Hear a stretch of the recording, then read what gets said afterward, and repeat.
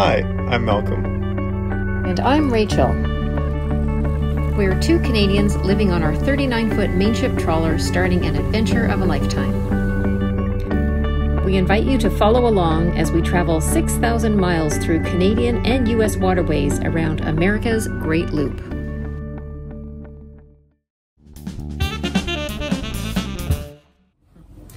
Hi there. Hi there.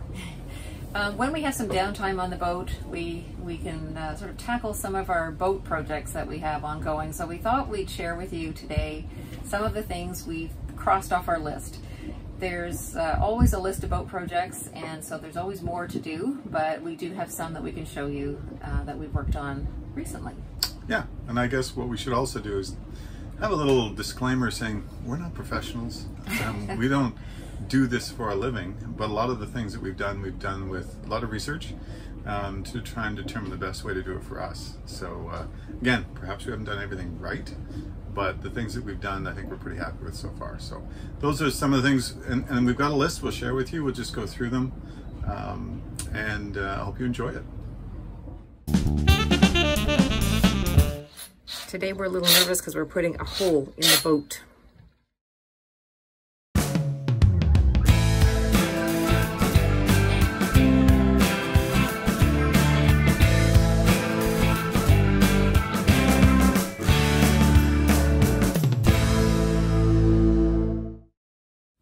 So the first project we tackled was a hatch project, and this hatch um, was put in the rear transom on the starboard side.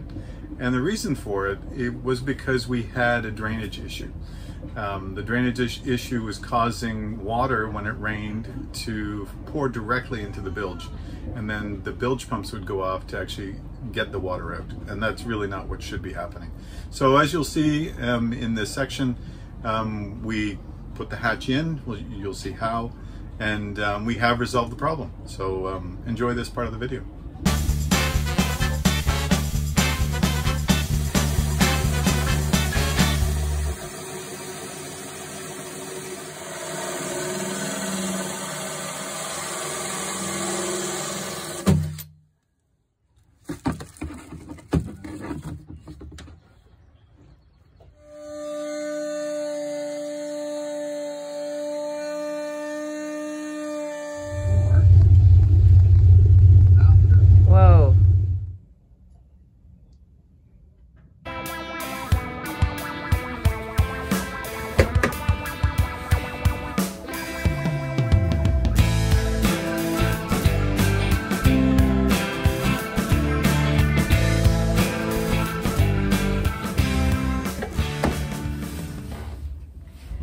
Project is a very simple switch plate. We had, for some reason, two VHF radios in our lower helm. We didn't need both, so we removed one and we used that space to put in a couple of switches that uh, will follow in some other projects.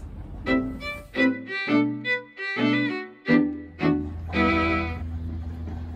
is darker than I thought. So we are staining a piece of wood that's going on the lower helm because we put a new switch in for our AIS transponder, which allows other boats to see us. We have what's called a Class B transponder, so it's not a commercial grade. It's formed for personal vessels. Here's our switch, and we're going to put it through here, but I'm just checking the color. It's pretty good. Here goes the good side.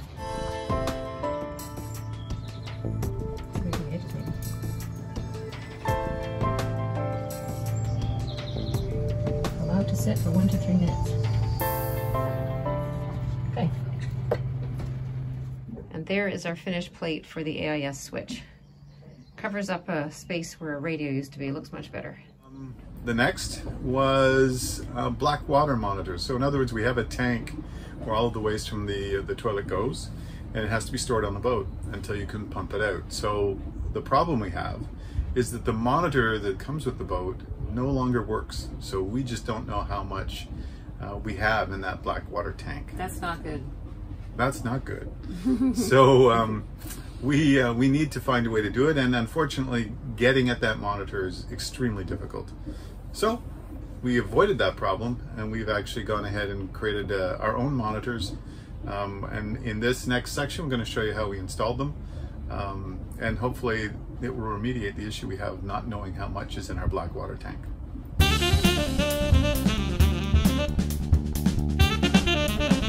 Okay, so this is our tank monitor for our Blackwater. And we have this because the Blackwater gauge that we have doesn't work because the, the sensor in the tank itself is inoperable. So we've got a microcontroller, which is an Arduino Uno, which is configured, looks a little messy, it'll be tidied up.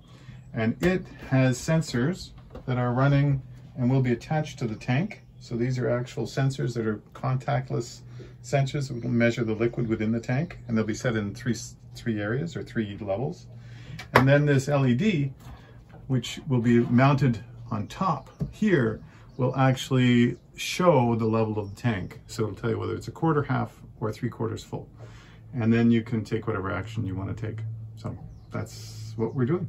This is a little kludgy because it's still testing and it's, it's plugged into a laptop. But so here is a quarter. So what it's doing is sensing whether or not there's a quarter of the tank available uh, or filled. Here is half. And this now says that half the tank is filled. And then you'll have full, says the whole tank is filled and you better do something about it. Otherwise you may have a small poop explosion. so then we're gonna, now as you pump it out, I can free up that other sensor, you'll see it slowly goes down. You're down now below half and now you've pumped everything out. And when you do that, you go back to green. So you even know when it's being pumped out. So that's the uh, that's the monitor for the black water. Isn't the full, what you're saying full is actually three quarters, so it gives you a little bit of leeway? It does give you a little bit, but we're not going to tell anybody that because if they see big red lights, we don't want them that, using that it. That should be the emergency to go and get it pumped out. Or go to an outhouse. Yeah, the problem with any black water tank is if it's overfilled, it creates pressure, and then you do get a poop geyser coming out of your uh, your pump when you open it, or your pipe when you open it. That's a problem. That's a problem. So this should allow us to easily and quickly see what our black water tank looks like. So I'm getting in the hatch below the helm, so I look really short. and I have a headlight on because in there it's kind of dark. It's also very cramped. That's why I'm the one that gets to go down. And these are the sensors we're putting on the poop tank. And I'm going to go down and stick them on.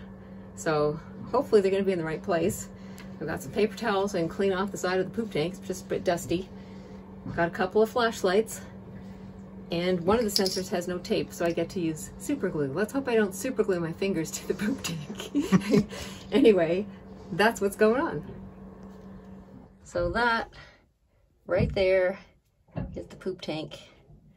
And the sensor that is not working is right there. And we are replacing it with a homemade version. I'm just about to tidy up all the wires. Um, but you can see, let me move my flashlight.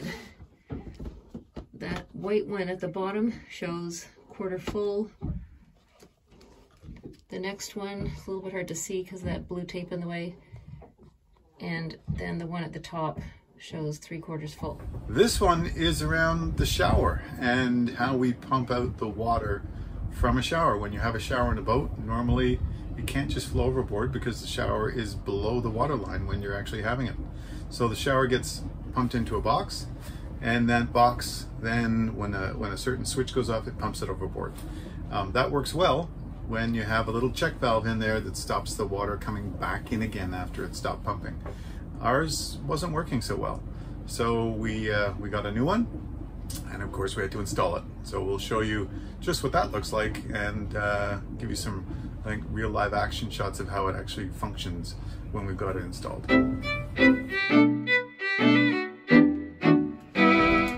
Wow, you are down in the shower sump. Mm -hmm. So here we have what they call a check valve, which stops the water when it gets put in here from the shower or the sink, drains into here, and then gets pumped overboard by this pump. And there's a check valve that stops the water coming back into the box, doesn't go overboard. Because of gravity. Right. Yeah. this check valve was in it, and you can see that there's actually it's worn sunlight, so you can actually it doesn't close anymore like it should, and there's big tears in it. So anytime there's a tear, it lets all that water back in. And what happens is the pump just cycles, it just keeps cycling because it can't get the water out, which is very annoying. So now it's all fixed and it Yeah. won't keep cycling. So we've got a one that actually is supposed to fit in there because this one's too big. And we've installed it and it seems to be working. So that's another thumbs up project. and that is the switch right there, right? Can you point to that? This is a switch, it floats. Yeah. So it comes up and then it turns on and then this is your pump. And here's the water that pumps out and then overboard.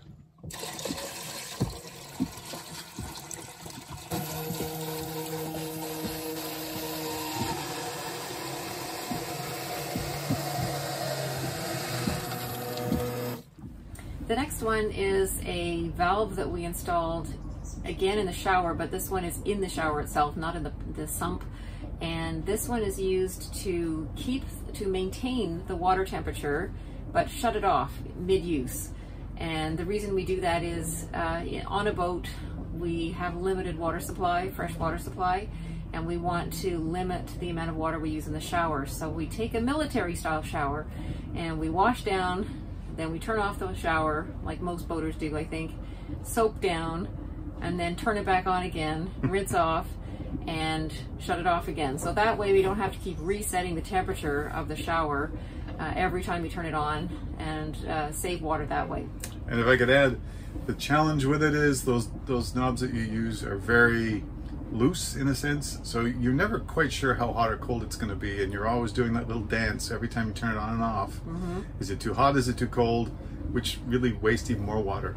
So this way, you set it once, you can turn it on and off, and then hopefully it saves water and you get a better shower out of it. And in addition to that, we don't even have to have it on full. We can turn the shower valve to sort of three quarters or half, so you're kind of have just like a little dribble of water coming out and really saving a lot of water that way. It also means we can have more showers, so we kind of are cleaner and we smell better.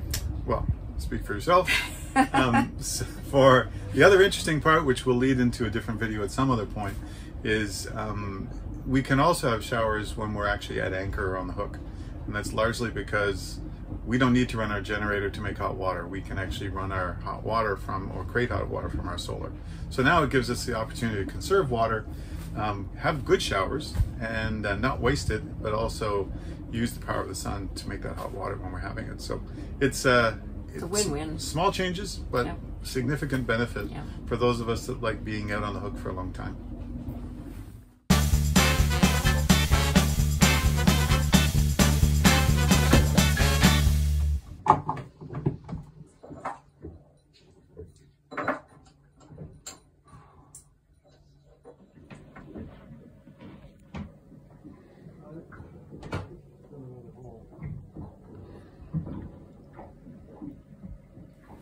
This last project is finalizing the connection of the wires for the Blackwater monitor. Um, and we also show the finishing of that uh, plate on the lower helm because we've added a couple of switches there. So you'll see that. And so that finalizes all of the projects for this video. Hope you enjoy. Yeah, and, and that, let us know if uh, there's something that uh, you'd like to see. Can't promise anything, but um, there's lots of projects. Uh, we were talking earlier that we've touched pretty much everything on this boat at some point. Um, again, not experts, but if there is something you want to see or something that interests you or could help you, let us know. We'll we'll we'll try. Um, but thanks for watching, and uh, we'll hopefully more projects to come if there's interest to see them.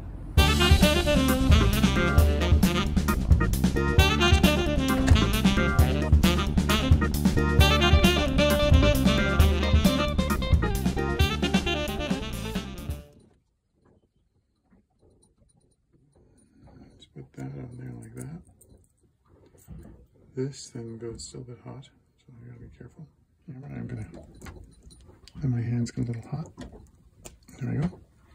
And then this sits in here like this on the switch plate that you just did. Like that, more like. And then turns the monitor for the black wire.